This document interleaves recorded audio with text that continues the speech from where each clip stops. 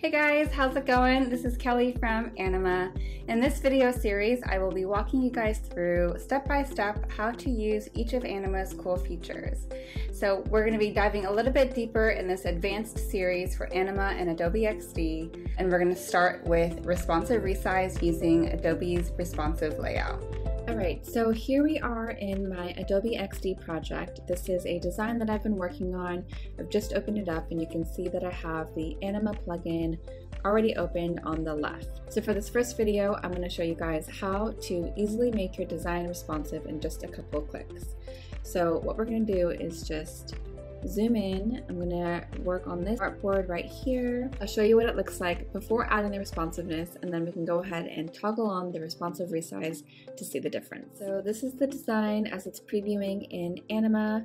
If I go to the top up here to the responsive icon, you'll see that the artboard itself is sticking to the dimensions that we have in XD. It's not scaling to width. So what we're gonna do is go into XD turn on the responsive resize feature right here and preview it like that.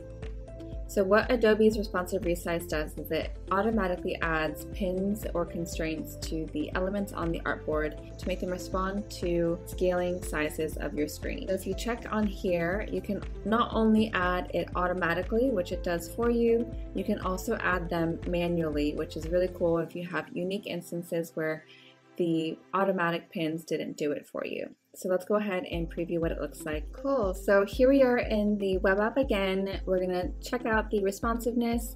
The way you can check out responsiveness in Anima is this blue slider line right here.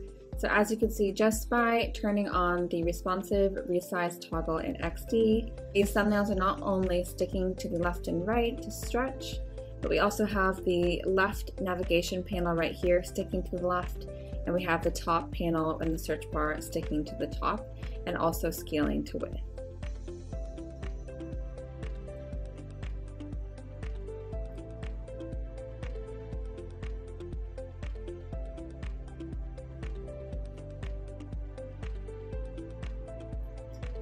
And that is how you make your design responsive in Anima using XD's responsive resize.